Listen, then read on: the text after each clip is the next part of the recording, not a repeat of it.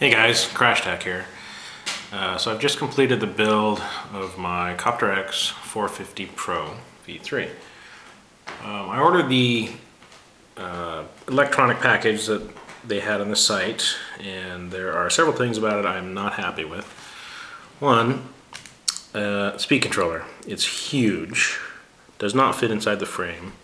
The frame is only one inch wide, so I'm going to be ordering a Castle 50 amp Ice Lite speed controller that's less than one inch wide that will fit underneath the battery frame. Um, the gyro and tail servo, they seem to be okay. I did the hover and gyro adjustment, but I do have another gyro on order. Um, I need to move my LiPo alarm back so I can have a little better visibility.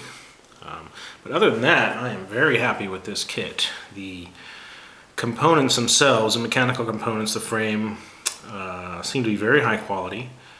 Uh, this is the belt-driven version. Give show the tail. I have flipped the control arms so they're leading edge, uh, as um, Finless Bob suggests. I still have a little bit of adjustment to do on the rod.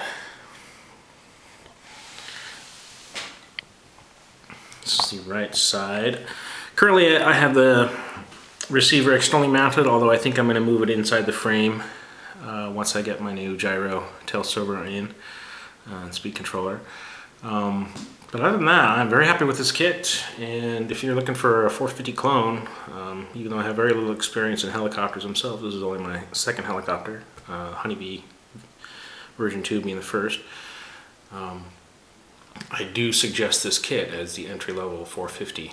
So, all right, I'll talk to you guys later.